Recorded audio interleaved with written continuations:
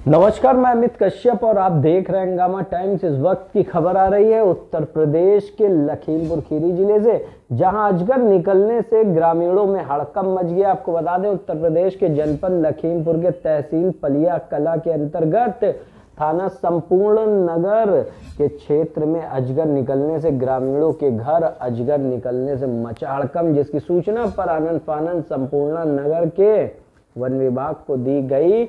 जानकारी वन रक्षक शमशेर सिंह को तत्काल में वन रक्षक वनकर्मी अरुण को लेकर पहुँचे।